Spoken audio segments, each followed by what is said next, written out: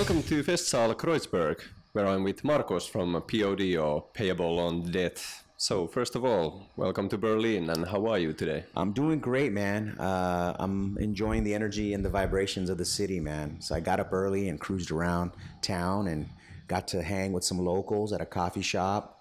Went to the Ramones Museum, which was really awesome. So, you know, I can't complain.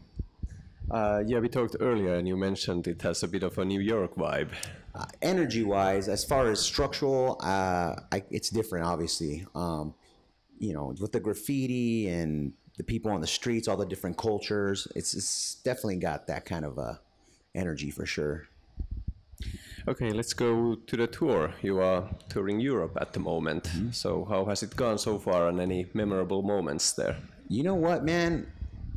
We we have not been disappointed. We have been extremely happy with the turnouts and the fans and people just being excited about the band and about the songs. And uh, it's it's definitely a pleasure coming over here, man, because uh, you know there's definitely some hunger for the POD out here. Yeah, for the last year you have uh, toured actually a lot. Mm-hmm. So what makes you know gigs so special that you know you are ready to do it year round almost? Well, luckily, when we first signed our record, big major record deal, deal, our first one with Atlantic Records, we were wise enough to consciously make a decision to become a band worldwide, not just focus on the U.S we would do the U.S., but we would go to Europe or we would go to Asia, we would go to Latin America, just because we knew we can't just count on one one market, and we want we want to have fans worldwide. And you know, sometimes we slack and don't go to certain markets, and people are like, "Why don't you come back here?" Um, like we were saying, I've we've never been to Finland our whole our whole career, and we are always asking ourselves, "I don't know why we've never been to Finland."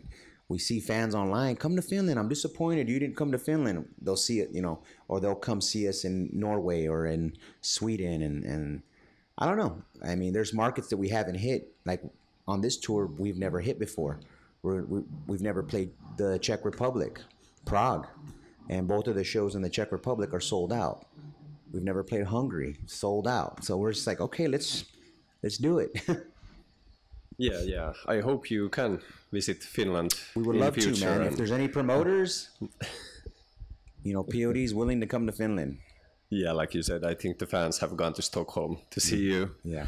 Uh, you are touring at the moment with Alien Ant Farm. Mm-hmm. So, what kind of touring partner is that band? Not, you know, not a new partner for touring for you, but. Well, there's a lot of parallels between the bands because we're both from Southern California. We're from San Diego. They're from Riverside, which is an hour north of San Diego and just culturally, custom wise, uh, energy, um, you know, sound, um, style, we understand each other. Um, and uh, they're good guys, and we appreciate what they do. They're good tour mates. They're fun to be around. And uh, we've done, we were talking about, we've done a lot of miles together. South America. This is our third European tour together. You know, we've done the States together. Uh, we were like, well, I guess we haven't done Australia, so let's do that next, you know? And it works. I think the fan base comes out and they're like, I remember both of these bands. I want to go to that show, you know?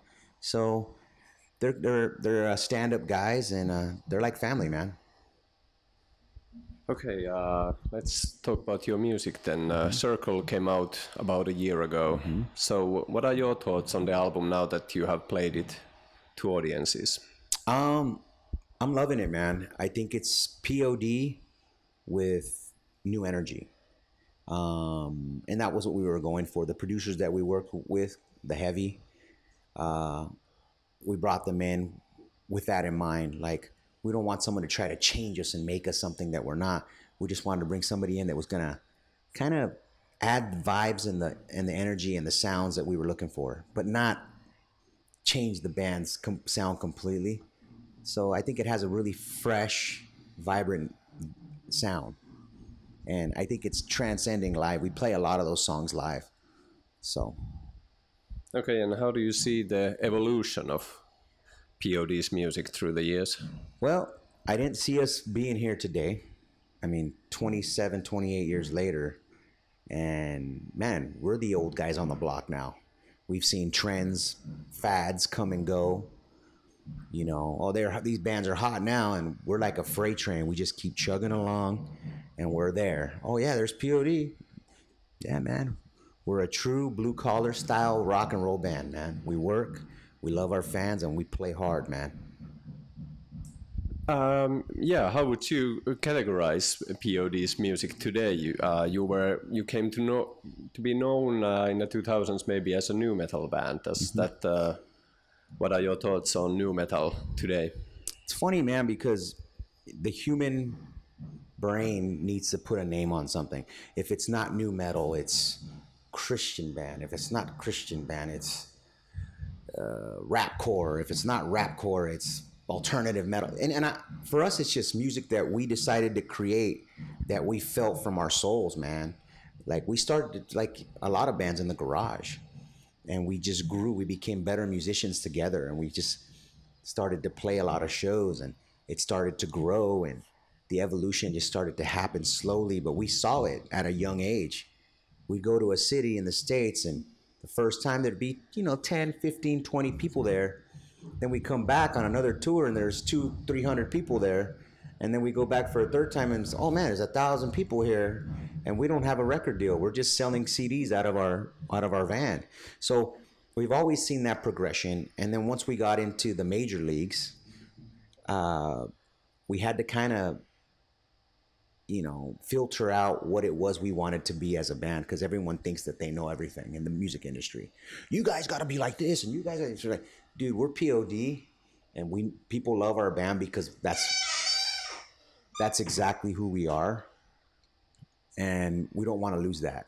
So we always try to stay true to what we are, and that's a Southern California band that has roots in reggae, punk, metal, pop, and hip hop and rap, dude. But we don't force it. It's just a natural thing for us. We hear bands trying to force it, and we're like, Oof that sounds that sounds contrived that sounds fa- fake for us it just happened naturally because we listen to so many different styles of music and we're like dude let's jam to this that sounds cool you know you know and it just happens organically man uh, yeah, uh, in any case, uh, there seems to be a newfound appreciation to nu metal nowadays. So now is maybe a good time to reminisce a bit about that time because at the time in early 2000s you were in in the like first row and uh, when it really got big and you were one of the biggest bands so yeah. did it feel like special then or what was the feeling back then did you kind of know that this was happening well i mean it's exciting. It's a very exciting thing especially at a young age. You're like wow people like what we're doing. And people are showing up to the shows and they're going crazy you know and they're singing every lyric. It's it's just it's exciting man. But you know as a band the way we were brought up, we always were taught to keep it in perspective, to stay humble, to you know treat people the way you want to be treated, and basically write music that inspires and gives hope and bring a little light into the darkness, man. Kind of like the Santanas, the U2s, the Bob Marleys, but with what we do. Yeah, did you realize back today that you were actually a big part of this new sound that was yes. coming. Yeah. Yes, man, we, we did. We realized it, but it's like a hurricane, man. When you're when that hurricane storm is going on, you're in the middle of it and you're just kind of numb, like, wow, this is happening. And then once it kind of passes, and you're like, wow, dude, I can't believe it. You, you still look back and and trip out on how many lives you affected worldwide different cultures, people that don't even speak English.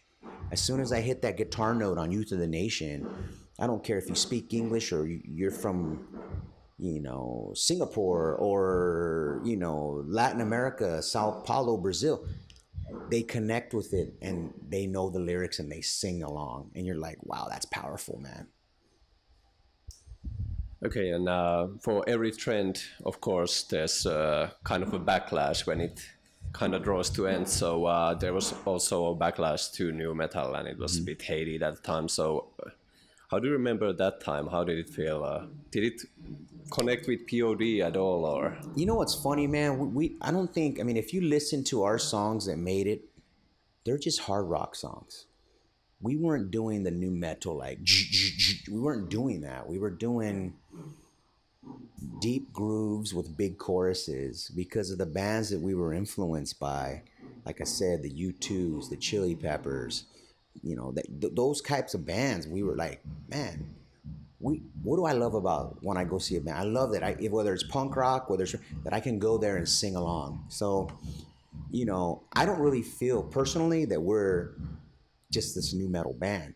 But people, if they want us to be, cool, man. You want us to be your nu metal band? We are your nu metal band, dude. You want us to be this band or that band? Fine. But as long as you listen to the music and we are giving you hope, my my job, our job as a band, is done. Okay, yeah, let's bring it back closer to POD. So, yeah. what's in the future? You know, we take it one day at a time. You know, we signed this deal with Mascot it's a European label, and uh, Circles is the first record, and uh, we're gonna kind of see what what this you know the future holds. We we feel that we have two more singles on this record, um, but the politics and money and all this stuff's like we'll we'll see if they ever come out. But uh, it's hard, man, because I guess from what I've gathered here in Europe, there isn't like in the states. There's rock stations in different cities from what I've gathered, there's like rock stations for a country. Oh, the UK has one rock station that plays everything for the whole country, Italy, and I'm like, that is a trip, man. Because for us, there's satellite radio for the whole country, and then every city has its rock station. So, and what I gather is that electronic music is a big deal here. So, rock, I mean, pop and electronic is the big music. Rock kind of takes a step back and you know it's not a priority. So we just have to do what we do and hopefully that the, our biggest friend is the internet. It's like check out our music man. And we notice it. Spotify apple music amazon people come to the shows and they're singing it. We're like dude this isn't even on the radio. And people singing this song. That's awesome. You know yeah how has it actually been to you know live through the changes and revolution in music in industry? It's frustrating because it's a business and any business has a bottom line. Bottom line means we need to make money and this executive suits that's all they care about. They don't care about the personal life. They don't care about the artist. They just cool cool man, sell a lot of records, make a lot of money. And we're like, "Hey man, we get that. It's called the music business for a reason." But dude, we have a lot of heart a lot of soul, and POD likes to wear its heart on its sleeve, man. You know. Uh, yeah, um, like you already said that you uh, live day by day with the band, but uh, do you already have uh, have you jammed, or is there uh, like a feeling what direction your music might take next? Well, for us, man, um, Kurt Cobain said it best. I don't care if you have two trash cans crashing against each other, but if you have a great melody on top, you know what a melody is? A hook, a song, like, then you got a great song. So for us, we're going to try to write the best songs that we can, but we're always going to write what it is we like, not what is hip or what is going on at the moment. We're going to write the best songs that we feel are good, and those are our favorite songs, and we put them out to the world, and hopefully people like them. We're being, we try to be true to ourselves as artists. That's it. Very cool. Thank you so yeah. much, and uh, break a leg tonight. Thank you, man. Right on, brother.